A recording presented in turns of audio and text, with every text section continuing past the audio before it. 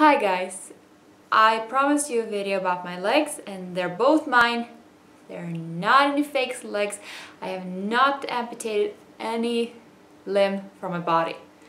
But the story that I'm about to tell you happened when I... Hold on. My, I know I need glasses but they're glaring. The story that I am about to tell you happened when I was 15 years old.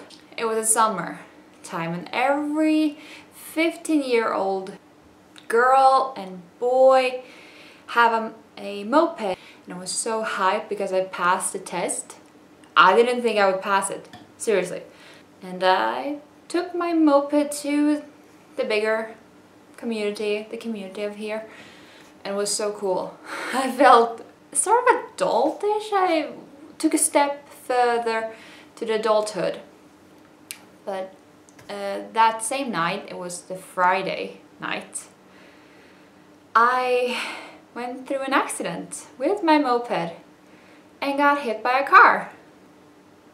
Yeah. And uh, yeah, I tumbled and the person behind me also tumbled and the car got really wrecked. My left heel got splintered into six pieces and my right leg got broken in four places and my foot, my right foot got broken in two places. I was near to lose my right leg when I was 15. It was a god, it was a miracle that they was able to fix my leg. But the other people that was included in the accident, they survived, they didn't got any major damages, it was me only which was good, but still it was terrible because my whole summer I was in a wheelchair. I couldn't walk, I wasn't allowed to walk, I was just allowed to lie straight in a bed because it hurts, it hurts. Mm, it was painful as you have no idea. And I had to take pain medication and I had to be able to learn how to walk again because my muscles were teeny tiny strings or whatever there. It was, it was a mess. I had to learn everything again. Learn how to walk and to be stable on my two feet. My left foot healed really quick because all these pieces that my heel was broken into were in the right place so it just had to stitch itself up again. While my leg, the one of the bones lie like that. So I had to heal according to that piece. So I had a big bump on my leg and it hurt every day and it itched. Have you ever broken a leg and felt the itchiness in the leg? Oh, but that wasn't all. I had wounds, I had bruises I had a bruise under my foot, under my left foot. But I got home four weeks after that. And eight weeks after the accident, I could walk on my left foot. And it was a terrible, it was terrible because I had, I could not stable on my right foot as well as the left and I had an iron bar. It looked like a prison on my leg that I could twitch by pulling the muscle in my leg. It looked terrible and you can almost see into the freaking leg. It was... I started my senior year in junior high school. My ninth year. Um, there, there, there we have it. My ninth year. And uh, by that everybody looked at me because I was I was in a wheelchair. I was jumping on crutches and yeah it was a mess. But nobody picked on me. Nobody tried to bully me because I did that because they realized I was I survived death again. For you know me I've been through near two near-death experience. I will tell the other one in a video somewhere, somewhere, somewhat later. Not now. This story about my legs. But that wasn't the end. Everybody thought it was the end of my experience of being near death and breaking legs and everything. No, freaking no. It took me almost two years to recover. And I started arm wrestling at my first year at high school. It was my sophomore year? Or, I don't know, the first year in high school, my 10th year. And uh, it was good, I got really good at it. It was fun and I tried my best to recover and by the springtime they said, well, we're gonna pull out the bar you have around your leg and put a bar inside your leg. So you don't have to have the bump on the leg. Your leg will be, the bone will be like that, but you have an iron bar with screws attached. And I had to walk on crutches again. That was the second time I had to walk on crutches. But it was fine. I was healing. I was gaining my way towards to being a healthy person with healthy legs. Somewhat.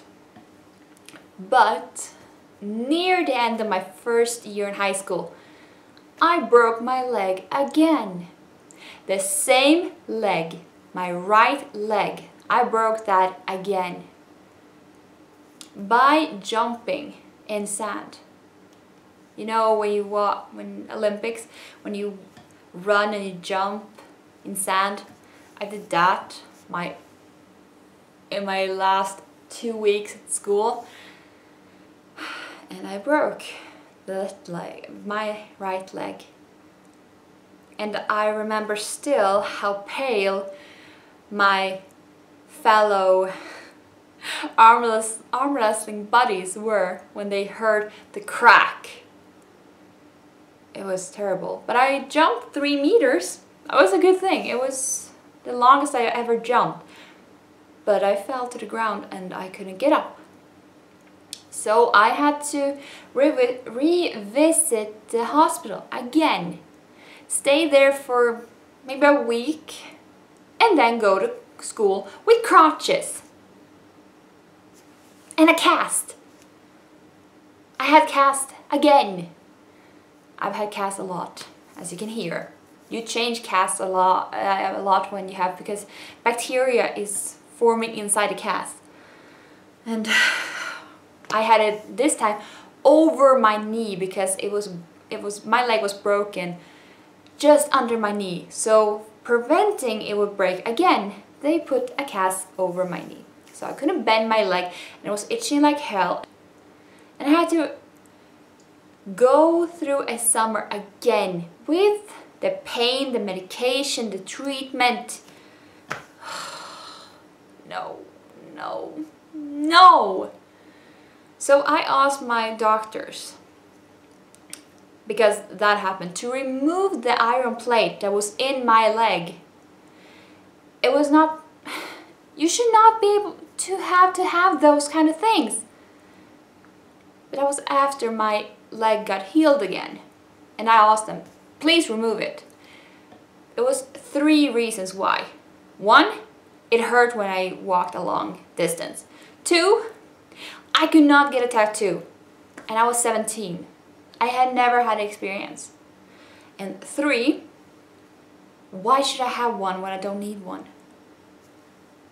Just asking. So they removed it when I was 18 and a half. This next summer, they removed that thing. And I had to walk in crutches yet again. That's the, what, third or fourth time I have to watch, walk in crutches because I had to remove the cast and then I have to have some kind of rubbery thing so to stabilize my leg while I was walking on crutches and trying to walk on my leg yet again. Then the summer after that I had to do the same shit over again. Get that plate away from my leg, getting that rubber thing over my leg. It was hot, it almost burned. It felt like it burned the skin off my leg. and walk again on crutches. But it took less time that time to regain the strength in my legs, which was good. Then I just had to limp for maybe uh, two or three months. I still limp, yet today, and I'm 23 and that happened when I was 18 and a half. I'm never gonna get well. I'm still gonna have pain every single day in the leg. It's still gonna itch in the bones. I'm still not able to balance on my right leg. I can't stand a long time and I can't walk a great distance. It's a miracle I can walk to the other the community in less than 45 minutes without feeling the pain. Well, sometimes I do feel the pain and other times I don't feel the pain. But I ha don't have to take medication. So if you have any questions about this kind of story that I have, comment down below and I will answer. And if you if you like this kind of story time video, then thumbs up and I will do more. And if you want to see more about me, my videos and stuff, subscribe. That will be really great. I would really appreciate that. And I will see you next week. Love and magic to you all. Bye bye. And stay healthy. Don't try and do the same thing that I did. Okay? Great.